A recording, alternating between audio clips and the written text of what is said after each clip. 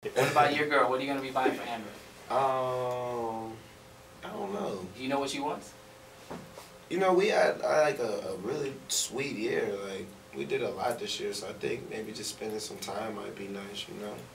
Um, I mean, we we get to we get to see each other a lot, but I think I might just chill out and just do something regular, like either fly her mom to Pittsburgh or like stay, fly my mom out to LA and just chill, just have like a Christmas dinner and just relax, you know.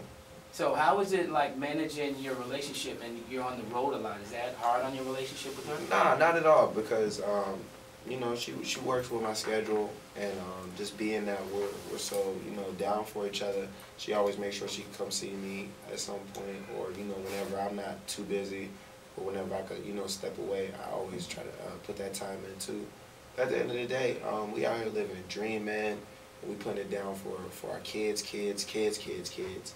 And uh, when you're doing something that great, you really can't slow down. You can't stop.